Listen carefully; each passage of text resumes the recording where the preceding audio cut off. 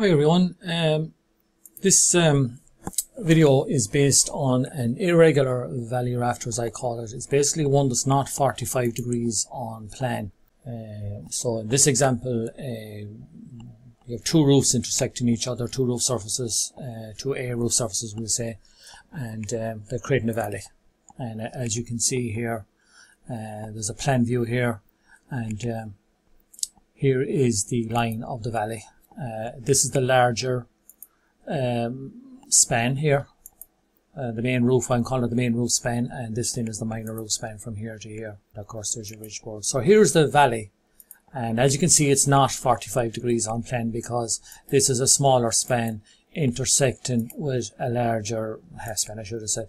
And um, because of that, then this um, the, the, the valley uh, and the, the run of the valley will not be 45 degrees on plane. That's where the two roofs inter are coming in at 90 degrees to each other as shown here. So uh, we'll just move on from that there. So just uh, so um, yeah, I was just stating again here in writing basically yeah. So and of course the ridge boards are at the same height. So um, in this ex example, so uh, they're both going up to the same rise.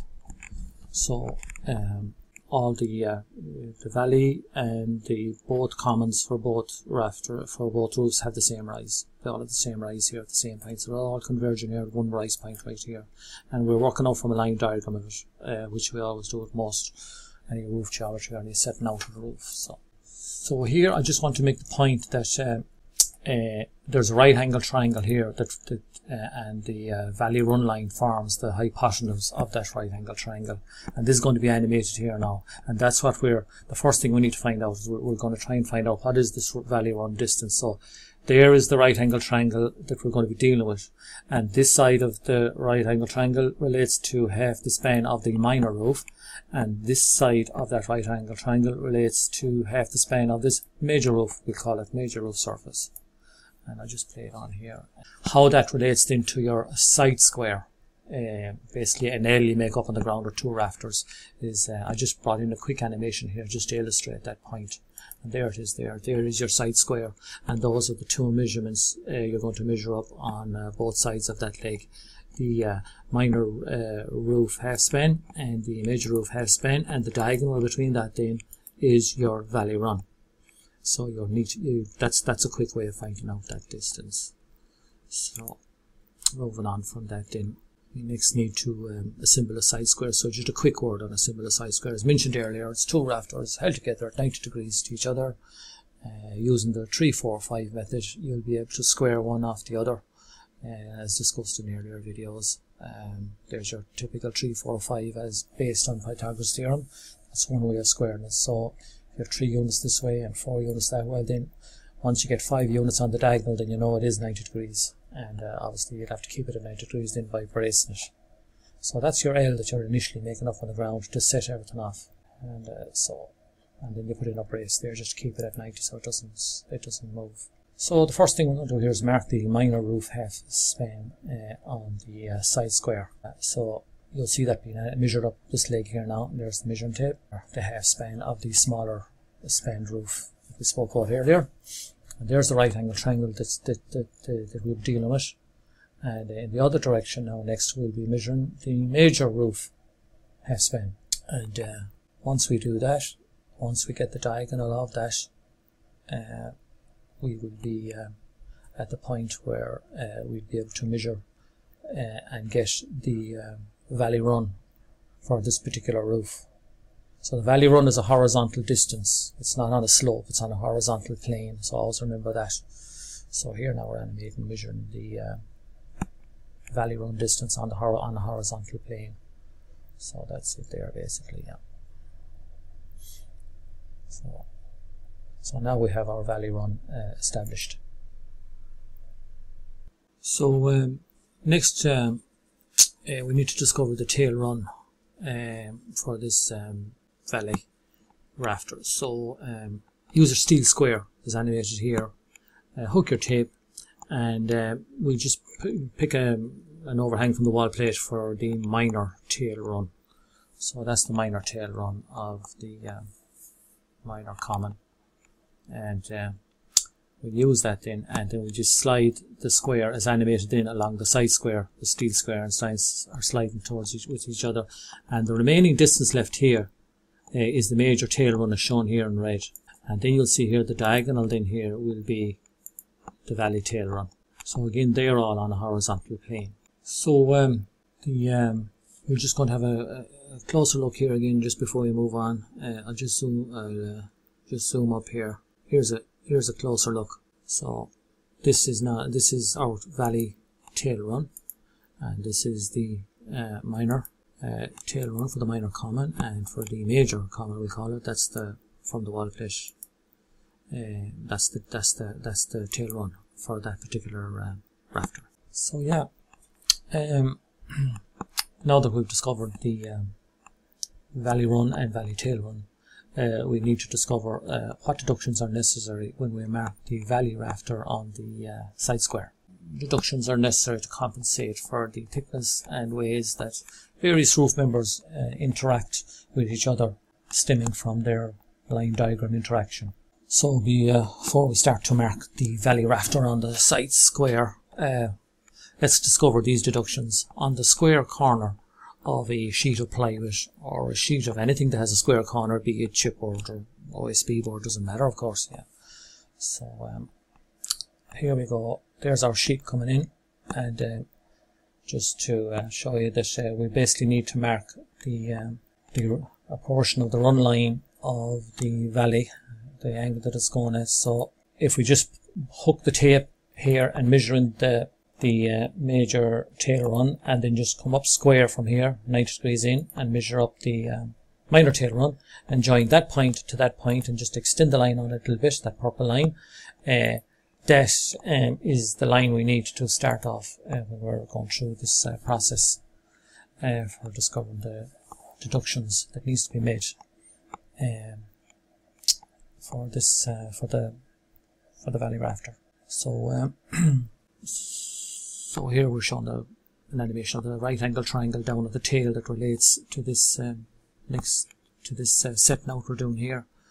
So um, you'll now see the um, tail, a plan view of the tail um, appear here now. So there's our fascia line just coming in there, and there's our wall plate line just to give you your bearings, and there's the wall plate line going the other direction. And there's the tail of our um, of our valley. And those white lines, by the way, there, those are the initial lines. When it's taken off the side square, later on into this video, you'll see the valley marked of the side square, and the, the first three lines on the side of the valley will be three plumb lines, and I'll have them drawn in white. And those are the initial lines, but after they're drawn in, you'll see that uh, um, adjustments or deductions will have to be made. So, um, you know, so when you see the same color line on the side of the rafters later on in this video, that's the that's the same version of the line across the top edge of the rafter. And usually those lines they come square across the top edge of the rafter, but they're always transferred down on along a plumb line, then go down the side of the rafter. So we just continue on that animation there, so you see uh, an animation of what I'm after explaining. So, uh, and there's that red diagonal line. That's that will then be the new um, heel line. So it's at an angle, as you can see. So um, when you're cutting it, uh, the, the heel line at the back of the bird's mouth is at that angle. So that's the angle you'll be setting your skill saw if you're cutting the heel line. This then is the other end. Um, we're now going up to the other end and we're going to set now, but we're using the same lines that we drew earlier on for the tail. There's, there's, there's the angle line that represents the angle, um, the, the, the center line of the valley on plan down at the tail, but it's the same angle when it comes up to the head and hits the two ridge boards. So so we're making the same corner of the plywood, the same drawing, we're making the same use of the same lines. The way I have them in there as broken lines now. So um, here you can see the deductions at the top animated for that ridgeboard and I put them in, in three different colours here. Uh, the white line will be the original line which is usually the very corner when I hold it on the side square that's that that's that line anyway and uh, but you can see there's there's one deduction on one side of the roof which by the way is that's the side of the roof that has the larger span, the one with the shorter corner here. With the shorter corner here, and the longer deduction here is one on the is on the roof that has a steeper pitch and smaller span. and from here to the point then will be the next one you'll see animated. So all those measurements, when you look at them there, they're on a horizontal plane, those coloured measurements. So that means when you look at the side of the rafter, those measurements should be coming square off the plumb line. Because if they do come square off the plumb line, then you know they are on a horizontal plane. So never, never measure the deductions along the rake of the rafter. They have to come square off the plumb lines on the side of the rafter. Just bear that in mind. So here they are animated in, in colours. And just showed you a view here of the piece that's been removed in uh, shaded in blue. Just to give you um, a visual on uh, what's happening here. So there it is, falling away. So yeah. So um, now we're going to mark um, the actual rise of the roof now because we're getting ready now to mark the actual valley itself now that we have enough information. Uh, so you can use this formula that's shown here. Uh, half the span of the, you can pick the major roof I guess, multiplied by the tan of the roof pitch for that roof and uh, hit the equal sign that should be you a rise. Make sure your cal scientific calculators in degree mode if you're using that formula.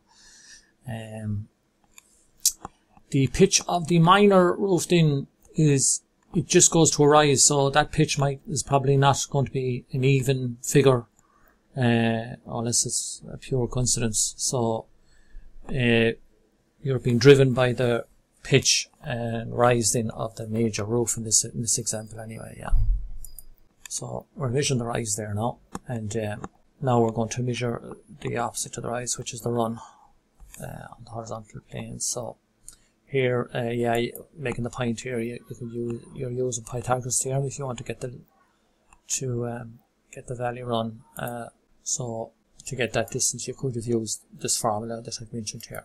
But, uh, but we've already got it physically off the side square earlier on anyway so. So here we go marking the uh, valley run on the other leg of the square. And now we need to mark the valley tail run on the side square as well. So um, here we go. I'm marking it on here now so now we're, we're ready now to place the actual valley rafter and it's on a very thin line there you might see that will, will represent the back line or the top line of our of our uh, valley rafter and you can see that that back line um, you know meets with the outside point here of your side square. So this is the right angle triangle we're dealing with those outside points and that back line. So we'll just continue on this here. You should see the rafter coming into view here now and there it is placed. And uh, set your bevel then You put your bevel onto the um, top of the rafter and swing the blade so the blade is in line with this rise leg of the square. You then have your plumb cut set. You know then that that is the correct plumb cut for this uh, valley rafter. So once you have that set, you're going to have the same plumb cut down here and the same plumb cut down here. You'll have three plumb cuts initially drawn on the side of this valley, which I mentioned earlier uh, that I drew in white. You saw a plan view of these lines already. Now you're seeing the view from the side of the same uh, initial lines. So here we go, draw your plumb lines, slide your bevel down, draw the other one right here at the end of the valley run line, and then draw it down at the fascia. And you might have to square square it out with a square or a larger square or anything, and just get that point, and then bring your bevel in again with the same bevel as already set, and there's your three plumb lines on the side of your valley rafter. So um, next thing we need to mark is the deductions on the valley tail, and um, here and just rolled out a sheet there just to show you something we have already previously set in this video and how it relates now to the rafter that you have left on your side square. So I'm just going to project some lines here down now so you see it all, how it all relates. Um, there was the plan view of those initial lines I mentioned earlier on the video and now you'll see how they relate to the side of the rafter that's now placed uh, on the side square at the correct angle. So here they are being animated downwards. Now we've got to mark the uh, bird's mouth. And to get the bird's mouth, you need to get the upstand from the common rafters animated here just now. And trans take that distance. And, as shown here, come down from the back of the valley on that second line in, uh, which was which is going to be one part of the heel line of your um, bird's mouth for your valley. And then draw that line. And this, by the way, we're on the wider, the, on the major side of the uh, valley, the major roof side, we'll say. They want the roof with a lower pitch but larger span. So just to, just to get your bearings there, I just want to mention that. Once you have that done then you'll see the portions fade out here that's going to get cut away and um, just going to always draw in X's on whatever it is you're going to cut off so you won't make any mistakes. So here's the X's animation now. After that of course uh, we're going to uh, we're going to be cutting those off. So here we are cutting out the uh, cutting out the uh, fish cut and bird's mouth on your uh, on your valley rafter. And you see the hidden line there, by the way, appearing as you're cutting the fascia cut. That's the shoulder on the far side after you make this cut, because remember, that's an angle to cut. You know, your skill saw set at an angle, so the cut on the far side now, there's the shoulder that's left on the far side. That's why I put that hidden detail here, and I'll be doing a similar thing up here with the bird's mouth. So you'll see, you'll see a hidden line appear. That's the shoulder line from the cut on the far side.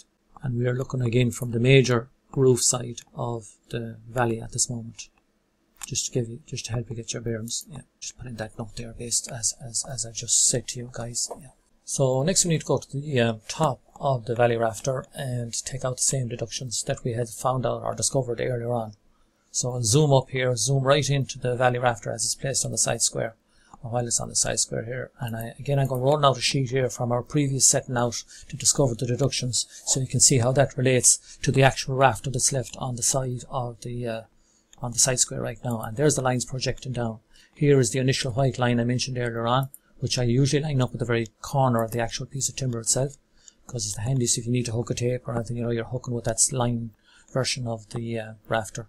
And uh, the other lines in are the uh, that's the point and here's one of the shorter shoulder to form the point and here's the longer shoulder on the far side of the rafter to form the other part to form the other shoulder that gives the points just a little animation here just to emphasize where those deductions are and they're coming at 90 degrees off the plumb line. As stated before don't forget that folks. Always remember they're 90 degrees off the plumb lines not in line with the rake of the rafter. So um, so here we have the top of the rafter which is now going to be cut and again you'll see a hidden line appear on the far side that's what's left from the shoulder on the far side from the skill saw running through so and there's your point so there's your off center point there there's the hidden detail lines on the other side of the valley rafter here, uh, just a little animation just to illustrate how to quickly get the uh, soffit cut. If you measure the length of the fascia cut on your common from here to here, then on the actual, this side of the rafter, measure that same distance from here to here. So that's an elevated view there, just to give you a good visual on it. So just making a point here, folks. Um, the uh, video you've viewed so far was based on an example of a valley rafter with half span uh, to outside of wall plate measurement used. Um, uh, if all the wall plates are kept in the same distance in from the outer face of the walls, then the overhangs, uh, wall to face distance will be different. So yeah, you, you, you, you might want, you, you might be okay with the case where the overhang on the um, one roof as opposed to the other wider roof, they might, they end up different when they come down to your uh, fascia level. Um, and currently that's up to this, that is the scenario. The overhangs from the wall would not be the same. Uh, and that might be fine. There might not be an issue with that. But you could be in a situation where you need to have the overhang from the wall for both the uh, major roof and the minor roof as we're calling them. You might want to have the overhang from the wall the same on both roofs. So what do you do in that case? So I'm just going to go into it here just to uh, show you an approach you can use, uh, which basically means you're moving in one of the wall plates. The wall plate on the major roof in this example is moved in towards the center of the roof uh, just a little bit. Uh, so when it does fly past the wall, uh, it will have the same overhang as the minor roof will have. So we'll go into that here now. So here we go. Um, here, here, here is the initial setup on your side square when we discovered our valley run. Um, that was the valley run that, that uh, would give us uh, different overhangs from the wall out rather than from the wall plate out. So um, if you wanted the same from the wall out, then this is the adjustment you'll have to make here. So um, after mar marking the half spans on the side square, the overhang from the wall on the side square is animated here now. Here we go. There's the overhang that we want from the wall, animated here now. Then do the same on the other leg as animated here. Same up here and in between those points you're now drawn a line on your side square and you can see that that that that's that line is the run not just out to the wall plate now but out to the fascia on both roofs that's what that purple line the ends of that purple line represents you know from here from here to here is the run from the center of the ridge out to the fascia line and on the major roof and from here now to here is the run of the minor roof uh, plus the uh, desired overhang uh, on the uh, on, on on on the other roof. So that's what you're looking at there. So let's just going to play this along and uh, if you want to discover what distance to move the wall plate in on the major roof, uh, the animation is showing you that here now, and you can see that distance here and here, they need to be the same as animated there. I'll see there's the line coming down. So that distance from here to here will now be the same. Measure square off this line, the same distance. That, in other words, that blue line and purple line need to be parallel now. And when you draw them parallel, it will give you the distance from here to here, and that is the distance you'll have to move the wall plate in on the major roof if you want to have the same overhang from the wall out towards the fascia. So there's my adjusted valley run there now. Now you'll have the overhang from the wall the same if you go with that run instead. And uh, of course, once you have that adjusted valley run, as I call it, it's the same process as we've discovered from the start of this video on, you know, um, just that you'll be using an adjusted valley run rather than the initial valley run we discovered if you want the same overhangs. So here's a little animation just to show you the wall plate uh, moving in. There's the initial position of it, but now that's the new position of it. So that has reduced the half span from wall to wall plate on the major roof. And there's the difference from there to there. That's how much you have to move it in.